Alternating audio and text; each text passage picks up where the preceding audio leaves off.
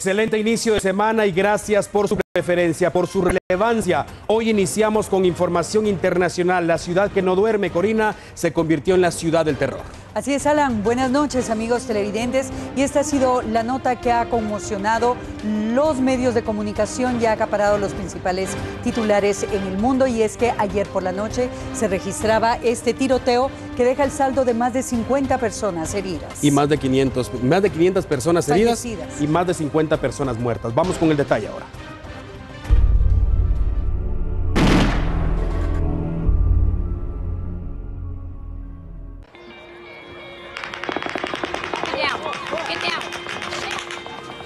Estados Unidos está viviendo una de las peores tragedias terroristas registradas desde aquel mortal 11 de septiembre de 2001. Las Vegas, Nevada, se convirtió en un escenario sangriento que hasta el momento lleva cobrándole la vida a 60 personas y tiene a más de 500 heridas en un hospital, muchas de ellas luchando por su vida. La ciudad que nunca duerme está de luto, militarizada y se suspendió cualquier tipo de actividad pública con el objetivo que un incidente similar no vuelva a ocurrir. Los yihadistas dieron un fuerte golpe al país que durante años le han declarado la guerra y que ha luchado por destruir su organización. La muerte esta noche sonríe, las lágrimas y el dolor y una mezcla entre justicia y venganza invaden el corazón de cientos de familias fueron víctimas colaterales de la masacre protagonizada por un hombre de 64 años. El piso 32 del famoso Hotel Mandala Bay fue escogido por el atacante para disparar a quemarropa contra el público que asistió a un festival de música country. Algunas personas lograron captar con su teléfono celular el terrorífico momento en que el atacante dispara contra las víctimas. Todo se salió de control gente tirada en el piso malherida, personas caminando sobre gente muerta, tratando de ponerse a salvo y evitar las balas, otros inertes sin saber qué era lo que ocurría. Fueron más de 10 minutos de fuego cruzado y lo más alarmante es que las autoridades nunca sospecharon de él, no tenía historial criminal y jamás figuró como amenaza pública. Hay muchas versiones de lo ocurrido. Se dice que el terrorista se quitó la vida. Otras fuentes aseguran que las fuerzas de seguridad fueron quienes lo abatieron a tiros. La identidad de las víctimas aún es incierta y no se conoce si existen guatemaltecos que hayan estado en ese lugar y que fueron alcanzados por las balas. La policía mantiene en la mira a los familiares del atacante e investiga si actuó con ayuda de alguien. Tras la masacre, estadounidenses claman por una reforma a la ley de armas y portación. Lo cierto es que al final de todo, la muerte rondó por Las Vegas y ahora sonríe.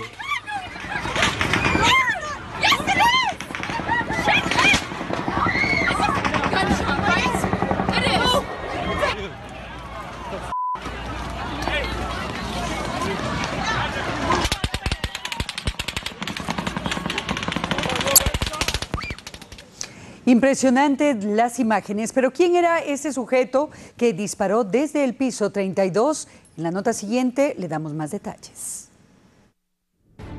El presunto responsable del asesinato de más de medio centenar de personas fue abatido a tiros por la policía de Las Vegas, aunque se habla también de un posible El hombre fue identificado como Stephen Craig Paddock, un estadounidense, un piloto privado pensionado de 64 años de edad y quien vivía en una comunidad de jubilados en la Mezquita Nevada. El hombre era tirador profesional, tenía licencia de cazador en Alaska y actualmente trabajaba como administrador de residencias en ese estado. Hasta el momento, la única información compartida por las autoridades es que desconocen las motivaciones de Paddock para cometer el crimen, ya que el hombre estaba dispuesto a morir aunque el Estado Islámico indicó en un comunicado que recientemente se había convertido al Islam y reivindicó la acción, pero las autoridades no han comprobado el vínculo.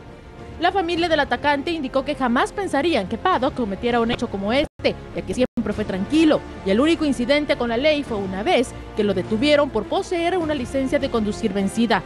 Joseph Lombardo, alguacil de Nevada, indicó que el hombre tenía al menos 16 rifles bajo su poder en la habitación del Hotel Mandala Bay, todas bajo registro legal y con reglamento del FBI vigente, que cada dos horas se estaría brindando información a los medios de comunicación de los avances en la investigación.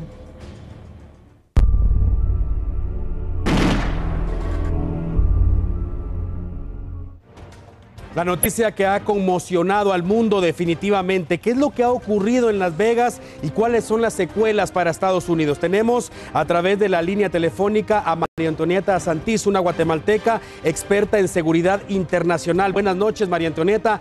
Gracias por atender la llamada de T13 Noticias. ¿Qué secuelas puede traerle al gobierno de Estados Unidos un atentado terrorista como este? Hablamos más de 50 personas muertas y la cifra, por supuesto, podría crecer de manera alarmante tomando en cuenta que más de 500 personas continúan heridas. Buenas noches una vez más, la escuchamos. Eh, muy buenas noches a toda la teleaudiencia, gracias por la entrevista. Pues en este momento el presidente Donald Trump está muy consternado eh, porque en este momento no han logrado descifrar qué motivo llevó a este sujeto a hacer la masacre más grande en la historia de, Estados Unidos. Eh, según el alguacil Joseph Lambert del condado de Clark, ellos pusieron en alerta máxima a todas las autoridades en todo Estados Unidos. María Antonieta, ¿podíamos hablar exclusivamente de este hombre como el único responsable de esta masacre o es evidente que hay más personas detrás de esta barbarie? Mire, por este, por el, hasta el momento él es el único implicado. Eh, han detenido a una mujer que se hacía acompañar de él en el mismo hotel, en la misma habitación, de origen asiático. Eh, ella estuvo entre la entre el concierto con las eh, personas diciéndoles que algo malo les iba a pasar, algo malo les iba a pasar eh, según los comentarios de las personas que estuvieron ahí presentes, y luego ella desapareció, pero ella sí fue a advertir en el concierto que se estaba dando, que eran de 22 mil personas, y el francotirador, esta señora estaba a 22 a 12 mil pies de altura del concierto. María Antonieta, ya para finalizar, hablamos de Las Vegas, una de las ciudades más visitadas de Estados Unidos. ¿Cuál debe ser el actuar del gobierno de Estados Unidos a corto plazo para devolverle la confianza y la tranquilidad a los habitantes y visitantes de ese país? Mire, en este momento es muy difícil eh, para las autoridades americanas eh, especificar todas las medidas de seguridad una por una, pero lo que sí es cierto que Las Vegas está en total alerta roja, todo Estados Unidos, Nueva York, que también está siendo amenazado con otros atentados.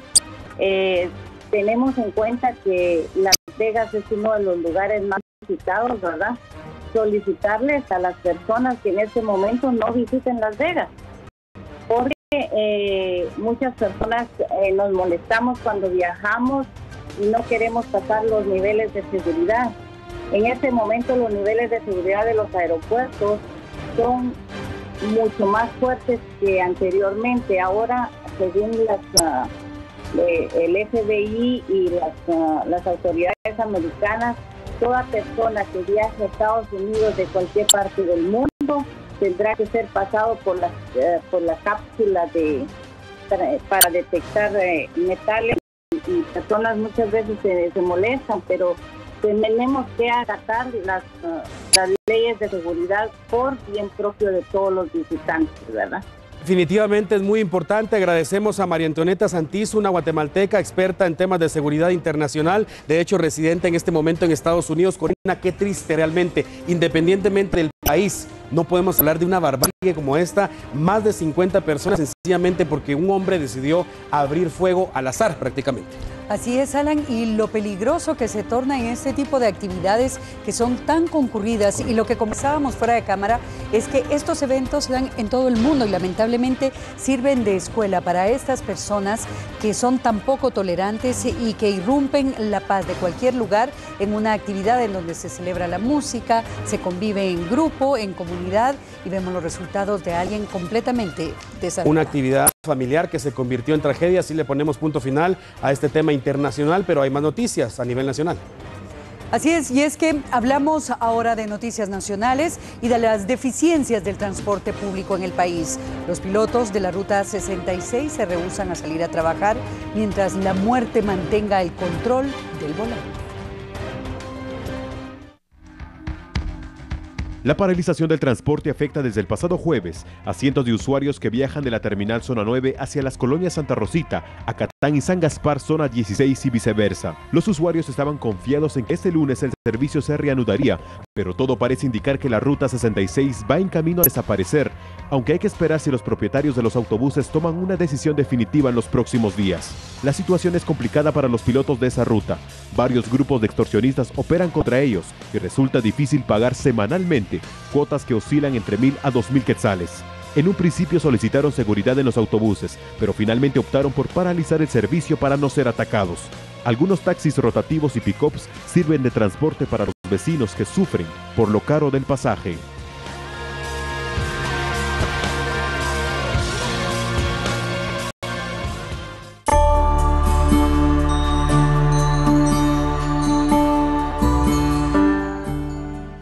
Bien, ahora nos vamos a ubicar hasta el departamento de Huehuetenango. Allí encontramos la historia de Francis, un niño que sueña con convertirse en policía, pero lamentablemente le falta una pierna. Esta es la historia del pequeño Francis Alexander Martín Catarino de 9 años, quien nació sin una parte de su pierna derecha, pero esto no ha sido obstáculo para que continúe su sueño de ser policía. Sin embargo, la prótesis con la que cuenta ya no le queda y esto le dificulta al momento de movilizarse. Su madre, quien se dedica al comercio informal, no cuenta con dinero para poder comprarle una nueva prótesis. Además, vive junto a sus hermanos en extrema pobreza. No cuentan con vivienda propia, pues son originarios del municipio de Santa Eulalia. Francis nos contó que para este Día del Niño, el mejor regalo que le podrían dar es una nueva prótesis y así poder jugar con sus compañeros en la Escuela Domingo Morales de Huehuetenango. Cuando yo quiera ser grande, quiero ser un policía, quiero tener mis dos pies para que corra como mis otros amigos. Francis actualmente cursa el segundo grado de primaria y según sus maestras es un niño muy aplicado y con muchos deseos de salir adelante, por lo que ellas solicitan a los guatemaltecos de buen corazón que puedan ayudar para comprarle una nueva prótesis, la cual tiene un costo de 6 mil quetzales. Y entonces mm, a veces cuando él está jugando con sus compañeros se le cae la prótesis. Y entonces nosotros con los maestros, padres de familia y los alumnos quisimos hacer una colecta, pero lamentablemente nuestro centro educativo es muy pequeño. Nosotros queremos solicitarle al pueblo de Guatemala que nos puedan apoyar. Y para este Día del Niño suplicamos a todos ustedes de su donación para que él pueda disfrutar de una nueva prótesis y ser como todos los niños felices en este día. Sus aportes lo pueden hacer al número de cuenta que está pasando en ese momento en su pantalla. Se lo agradeceremos con todo nuestro corazón, ya que es un niño que necesita mucho de todos nosotros los guatemaltecos. Como dice el dicho, hoy por ti, mañana por mí. Si esta historia tocó su corazón, puede hacer sus depósitos al número de cuenta que aparece en pantalla. Francis se lo agradecerá. En Huehuetenango reporta Daniel Méndez.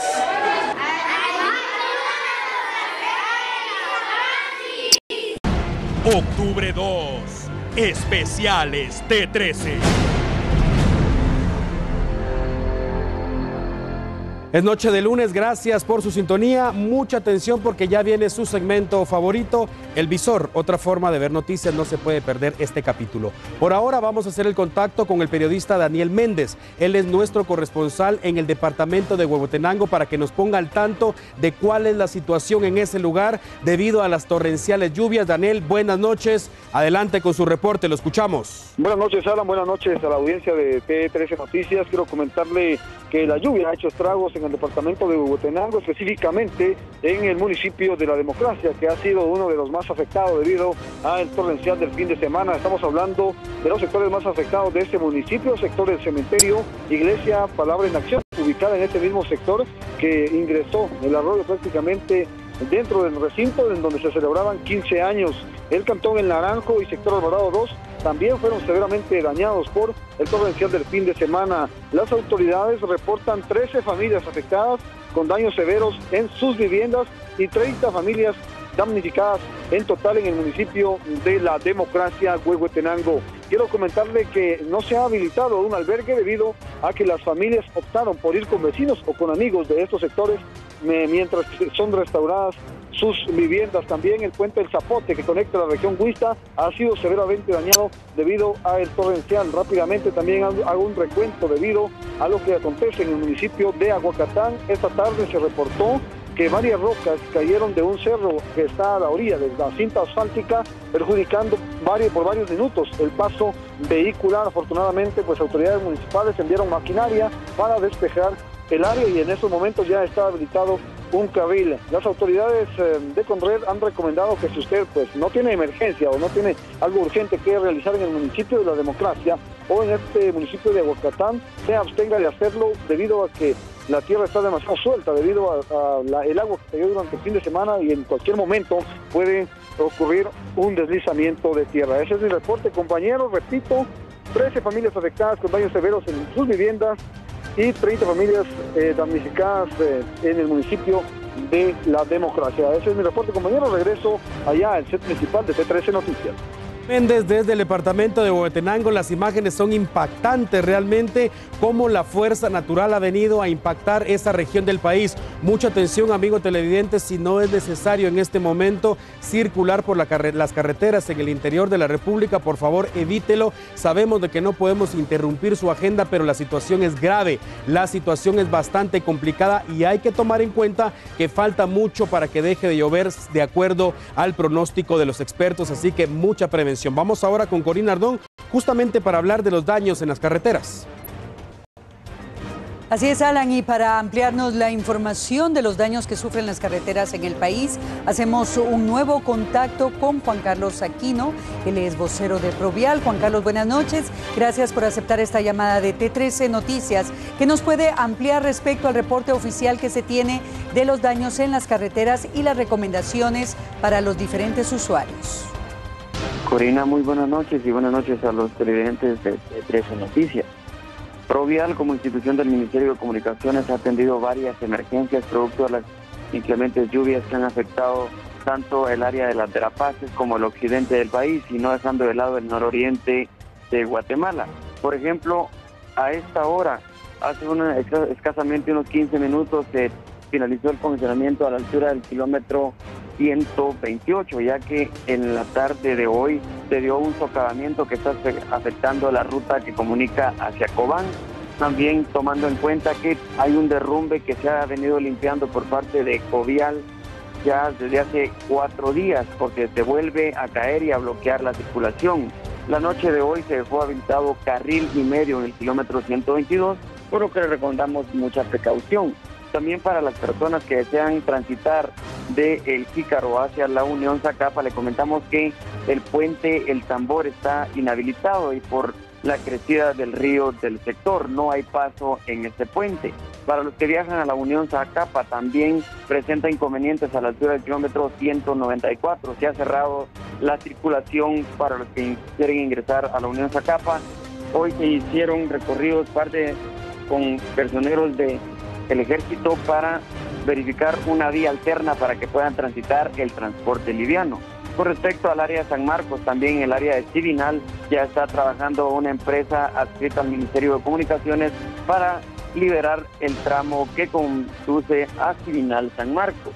Con respecto a la ruta al Atlántico, mucha precaución cuando transite en el área de trabajo, ya que el exceso de humedad puede generar caídas de rocas hacia la carretera. Recuerde que si tiene alguna emergencia se puede comunicar al teléfono 1520 de Provial o también nos puede seguir vía Twitter arroba Provial para actualizarse cómo está el estado de las carreteras producto de las lluvias de esta temporada. Muchísimas gracias Juan Carlos Aquino, vocero de Provial.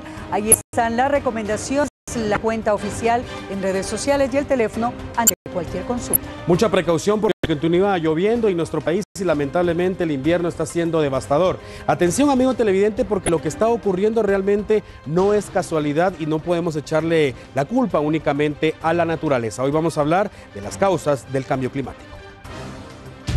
Que esos son procesos que lleva la Tierra en sí, son fenómenos naturales que se dan. Ya cuando afectan al humano es cuando le vemos el tema de, de desastres. Pero sí, claro, esos, ese proceso también se ha ido acelerando o siendo más fuerte por las actividades humanas. La naturaleza está cobrando su factura. El cambio climático es notable y se refleja en la magnitud de los desastres naturales. Este año, terremotos, amenazas de tsunami y cantidades inimaginables de huracanes han marcado el mundo. Como lo explica el biólogo, la mano del hombre es la causante de todo y no nos detenemos. La deforestación desmedida contribuye a ello. Por ejemplo, antes, cuando nosotros teníamos más cubierta vegetal o arbórea, eso servía de amortiguador cuando se dan situaciones de muchas lluvias o desastres o cuando se dan sequías que todavía se mantienen muchos de los recursos. Al irse reduciendo, vamos perdiendo esa, esas cortinas o esos eh, amortiguadores que sirven cuando vienen ese tipo de eventos. Por eso cada vez vemos que impacta más, porque como tenemos menos cobertura, el, el daño aumenta tanto económico, social, eh, eh, como ambiental. En los años 50 Guatemala estaba cubierto de bosques y áreas verdes hasta un 80%. Actualmente se ha reducido alarmantemente. Lo que se tiene de avance por año es prácticamente lo que eh, serían unas 79 canchas de fútbol, ¿verdad? Entonces sí, sí, sí, es, sí es significativo ese avance y si no logramos nosotros reducir esa brecha, bueno, se está perdiendo, pero si estamos reforestando, podemos mantener cierto equilibrio. El Centro de Monitoreo Meteorológico del país ha notado un cambio drástico en cuanto a las actividades naturales y los desfases en cuanto a las fechas que se registraban. Antes llovía más que ahora, pero tomemos en cuenta que antes habían más eh, partes eh, con vegetación. Eh, el hombre se ha encargado de de ir eliminando muchos bosques y todo. Entonces se han creado superficies de, cemento que, muy, reciben mucho, se ponen muy calientes y no hay nada de humedad que pueda ser transportada a niveles superiores. Y eso genera que ciertas áreas eh, empiecen a sufrir con los problemas de la falta de lluvias. ¿Qué genera calor? Pues, aumenta la temperatura. ¿Y el frío en otros lugares puede bajar mucho más? Bueno, eso va a depender también en Guatemala más que todo, épocas de fin de año. Para esas épocas, ya en el mes de noviembre, nosotros empezamos a monitorear mucho lo que es la oscilación ártica, porque de eso va a depender qué tan frío o no frío puede ser la época de fin de año y principios de la siguiente.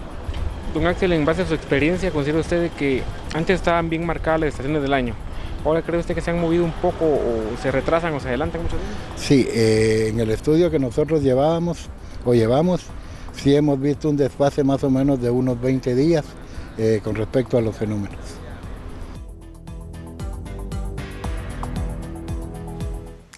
Sin embargo, no todo es obra de la mano del hombre. Nuestra ubicación geográfica nos convierte en un país vulnerable a sufrir el azote natural. Hablamos de torrenciales lluvias en invierno, sismos y la actividad volcánica.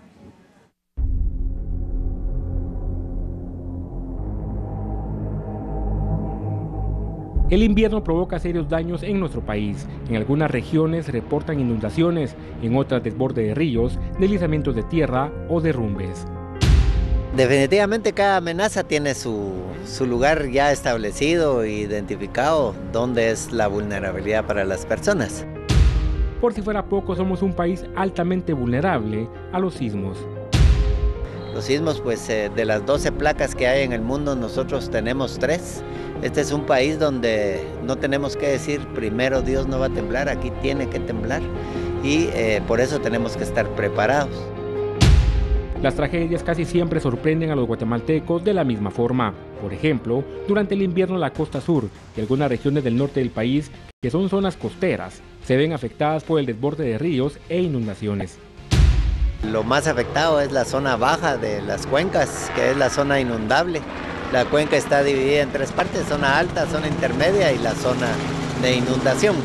Eh, por eso que miramos nosotros que todas las eh, playas pues, eh, y las, los municipios que están a la par de esta, pues resultan inundados cada vez que hay un invierno. Definitivamente también están los ríos más caudalosos como el Madre Vieja, el Coyolate, el río Cis y eh, del otro lado también del, lado del Atlántico pues tenemos eh, en Petén todos los ríos que, que se inundan por ser caudalosos y también hay zonas bajas donde se inunda. Estos los tenemos bien identificados, es eh, principalmente del lado del Pacífico, que es el que más problemas ocasiona, es la Nueva Concepción. Tenemos el puerto de San José, Tacisco con el río Los Esclavos y tenemos también lo que es en San Marcos con el río Michatoya. La falta de cultura genera caos en la ciudad. Aquí es eh, únicamente porque las personas eh, no tienen educación y tiran la basura en la calle y los tragantes definitivamente colapsan. Eh, ustedes han visto principalmente en las vías rápidas es donde las personas más depositan la basura en la calle. El occidente reporta durante la temporada derrumbes y deslizamientos de tierra. Por si fuera poco, esa región del país, principalmente Quetzaltenango, Huehuetenango, Quiché y San Marcos, son las más vulnerables durante los movimientos telúricos. En las que habitan algunos guatemaltecos. Un equipo periodístico viajó a Santa Rosa para buscar a una familia víctima de la indiferencia social.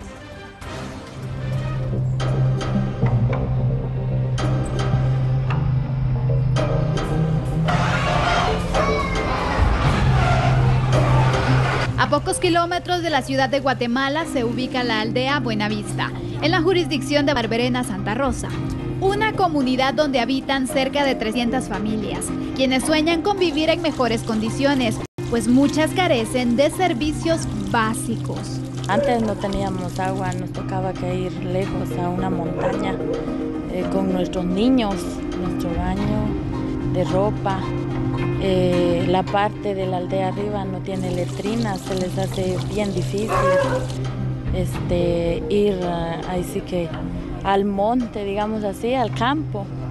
Eh, personas que no tienen luz también se les hace bien difícil, ¿verdad? Sí, hay bastante pobreza porque los trabajos no, no están todo el tiempo, solo es un tiempo que hay trabajo y más este, los, los padres de familia se dedican a lo que es el campo de siembra de frijol, siembra de maíz y según como les va en eso, en la siembra del maíz y del frijol, este, de ahí ellos se van a mantener. Venden una parte y una parte que les queda para sobrevivir de ellos después.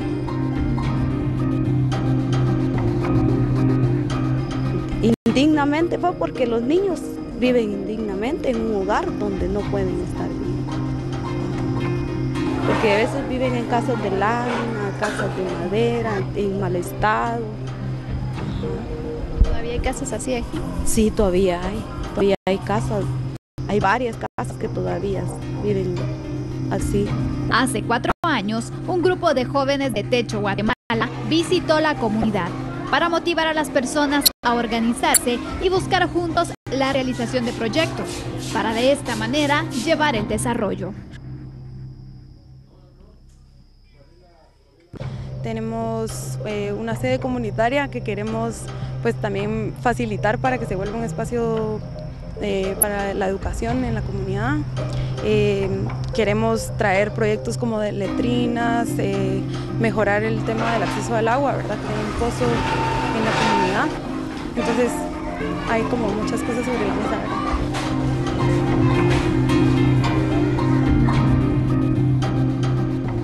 Yo lo que sueño es un futuro mejor para la comunidad, ver más beneficios para la comunidad, pues que vengan más proyectos para la comunidad.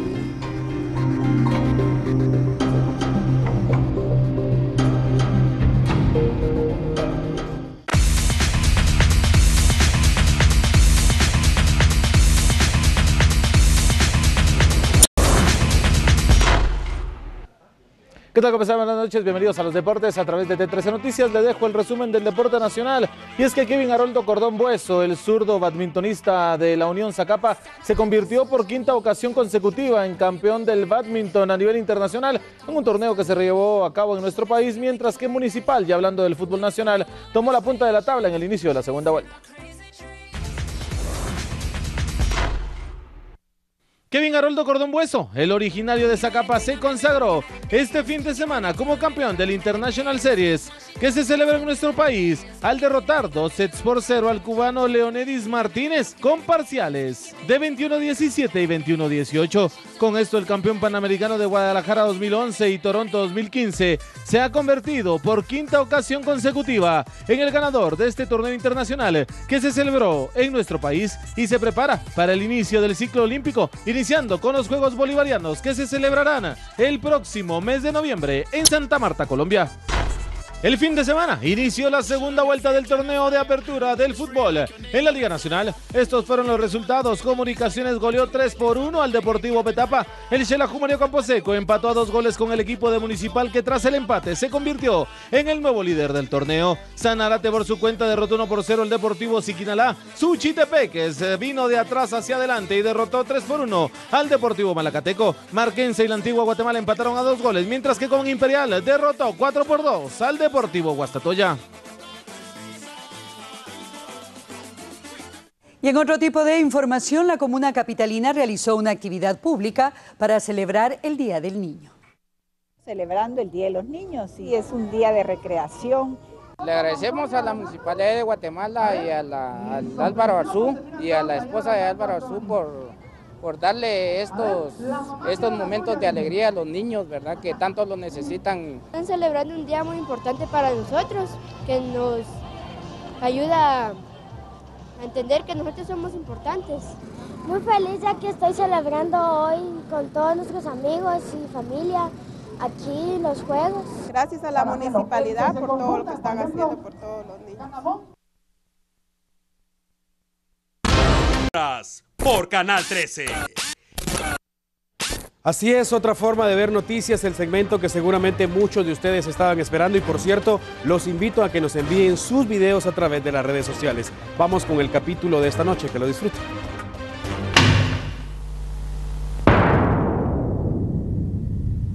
Sensual. Un movimiento sensual. Sensual. Un movimiento muy sexy. Hoy arrancamos con ritmo y movimientos sensuales. viene azul, azul con este baile que es una bomba. Para bailar esto es una bomba. Muchos son los videos en la red sobre los duelos de bailarines.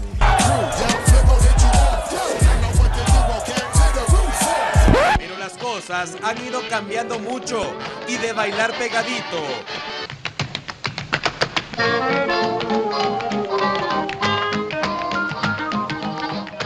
Ahora, la humanidad pasó a movimientos extremos.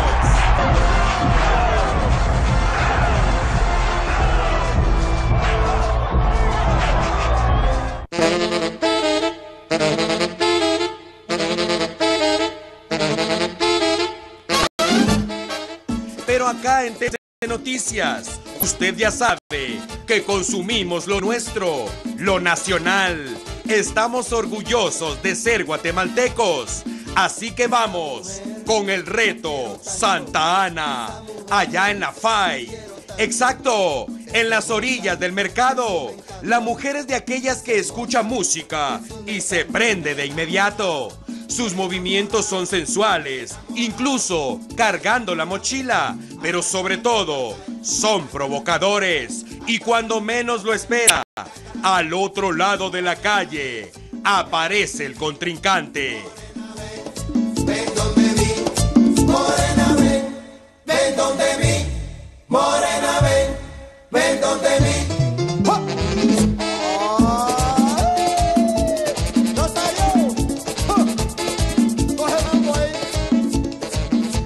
Don Cuento viste short que engaña, rojo por delante y negro en la retaguardia, camisa a rayas de la última paca que abrió Doña Juana a la vuelta, clasificada, calcetines cortos y cachucha para el sol. Los contrincantes se respetan, quedan de frente, pero jamás se acercan. Y Don Cuento empieza con las pataditas hacia atrás, mientras la mujer sigue en lo suyo, en su banqueta. Acá no importa si hay ganador o no. Los dos se robaron el show en la zona 5 y consiguieron además un espacio en este segmento.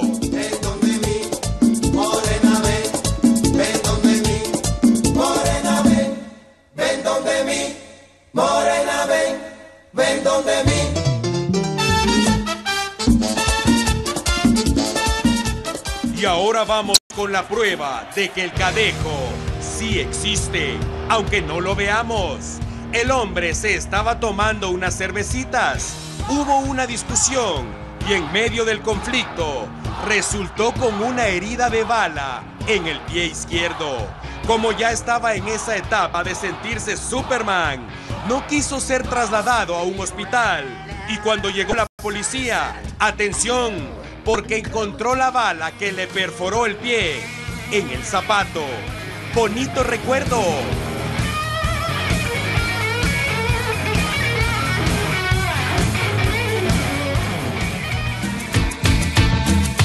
Creo que ya veo doble. Se me fue toda la noche en tomar. Y ya que hablamos del cadejo, ¿qué tal este hombre que se tomó una de más? Solo una, solo una. Tipo sencillo, pero que no se arriesga en autobús. ¡Qué miedo! ¡Mucho peligro! Le teme a los taxistas. Y Uber. Nah, ese fulano ni lo conozco. Mejor camina. Cercanías del trébol. Va como para el milagro.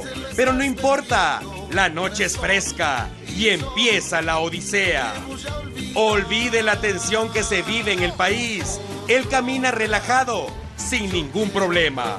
Olvida por completo dónde está y que los carros pesan un poquito. Parece que le hace cosquillas a la muerte, pero siempre sale en caballo blanco por todos los terrenos. Incluso, si usted no se ha dado cuenta, este hombre disfruta tanto de lo natural que ni siquiera usa zapatos como para sentir ese contacto especial con la tierra. ¡Ey! Por cierto, cuidado, hay un hoyo ahí. Ahí abajo, a la izquierda. ¡Cuidado! Que conste. ¿Qué pasa con este muchacho? Le preguntamos y su respuesta es bastante interesante. ¿Y por qué estabas tomando? ¿Estabas celebrando algo? Puro gusto. ¿Ah? Es puro gusto. Es puro gusto. Pero, ¿andabas con amigos o andabas solo? Andaba con amigos, seis. ¿Y qué, qué se hicieron? Yo me quedé abajo. ¿Ah? Quedé abajo. ¿Ah? Cerrar y ¡Hueva! Momento. Yo podré ser bolo, pero educado. Con clase, papá.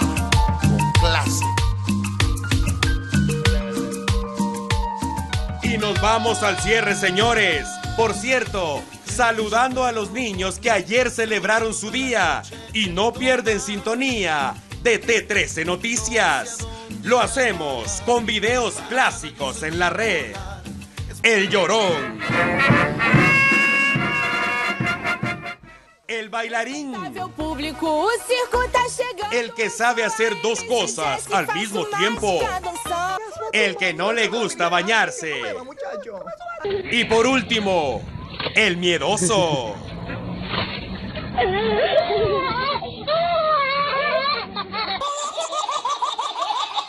El visor.